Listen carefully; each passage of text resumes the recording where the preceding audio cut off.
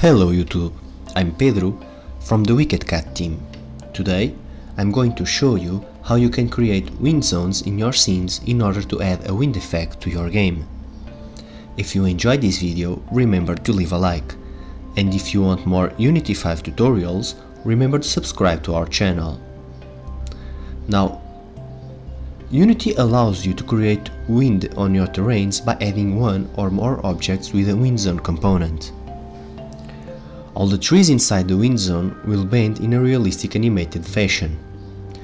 The wind itself moves in pulses, which helps to create the natural patterns of movement among the trees.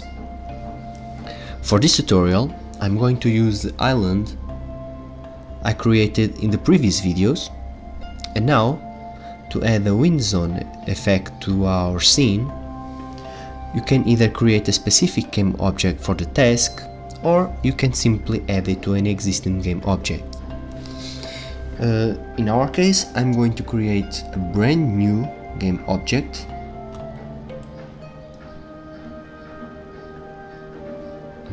Let's see. Oh. there is the island. Let's try to move a little bit closer. We got a little away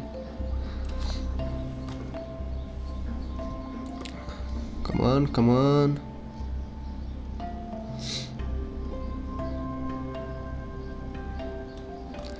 Okay so yeah. Here we have our island. And let's get a little bit closer. The camera is kinda messed up today.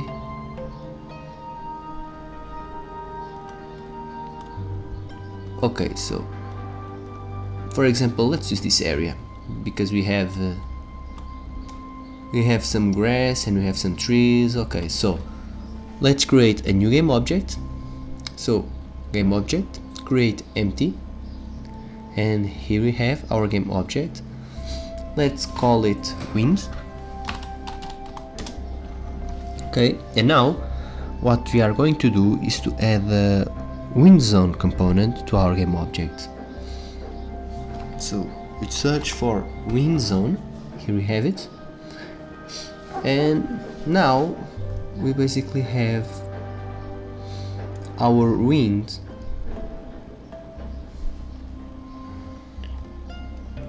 In let me just make sure we actually can move it to a place where you can see it yeah now you can see it so uh, as you can see we have now a, an arrow symbol in our game object this is the, wind zone component now, uh, if we take a closer look to the wind zone component, we can see that we have several parameters that we can adjust. The first one is the mode, which can be directional or spherical. So, if you have the spherical mode, instead of the arrow, you'll have a sphere in your scene. Okay? And if you have directional, you have an arrow. So what's the difference between these two modes? Well, the directional mode makes the wind affect the whole terrain at once, while the spherical mode makes the wind blow outwards within the sphere of the defining within the radius of the sphere. So, for example, in directional, if you change this to spherical, now you can define the radius of the sphere. So, again, the difference is in directional it will affect the whole terrain. In the spherical, only the area inside the radius of the sphere. Now, directional winds are more useful for creating um, natural movement of the trees, while the spherical winds are more suitable for special effects like explosions. Now, the next parameter are main wind and uh, turbulence. The main property determines the overall strength of the wind, while the turbulence allows you to give the, a little random variations to the wind strength. And finally, the next two parameters are pulse magnitude and pulse frequency. This allows you to control the wind pulses in order to get a more natural effect. The strength of the pulses is defined by the, the pulse magnitude, while the time interval between the wind pulses is set by the pulse frequency. Okay, so let's create uh, some natural wind in our scene. Let's first change the mode to directional. Next, let's set the main to 1, we already have that, and for example the turbulence, let's set it to 0.1 and now for pulse we can actually change the pulse magnitude to 1 and the frequency to 0 25 and let's set the camera on this area. So main camera game object align with view. And let's press play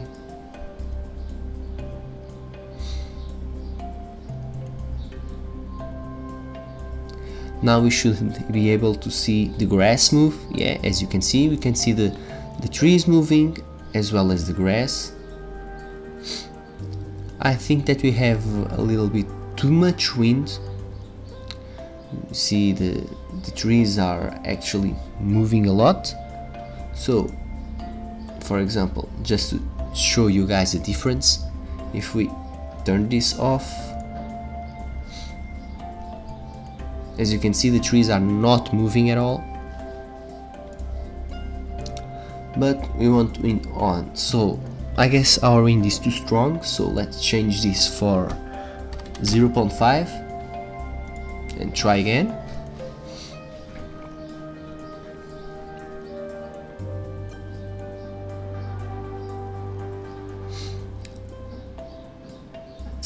Still I think that uh, the wind is too strong. Maybe we should reduce the frequency. For example to 0 0.05 0.05 and let's see what happens.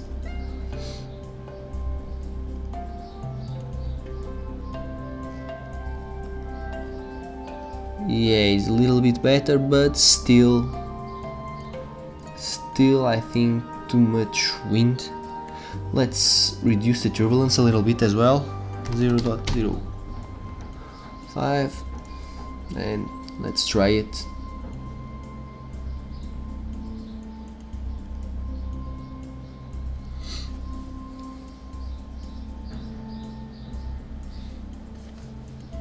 Yeah a little bit better but I'm not satisfied with it yet so let's reduce the magnitude to 0 0.5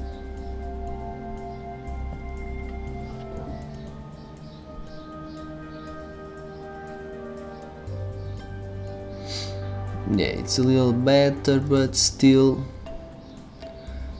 I have a, a, better solution for this instead of actually and you can guys use this. This is actually a a good a good idea if you guys need to tweak some values in order to get the right ones. Um, let's turn maximize on play on. And now while we are on play we can actually change the values in real time in order to see uh, which values we actually want. So let's change the wind frequency. Now we have minus values. No no no no. 0 0.1 let's change the let me just hmm, perhaps it's the main.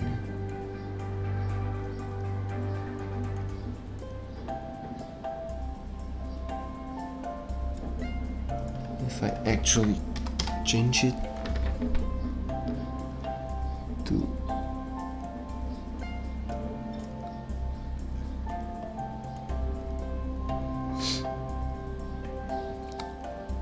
yeah as you guys can see now now we have so 0 15 0 0.15 0 0.05 0.01 0.01 now we can actually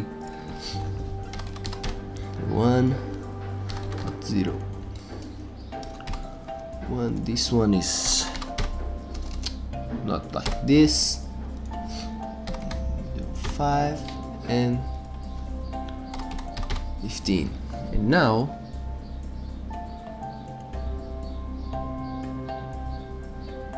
yeah just perfect. So you have a very smooth wind in your scene.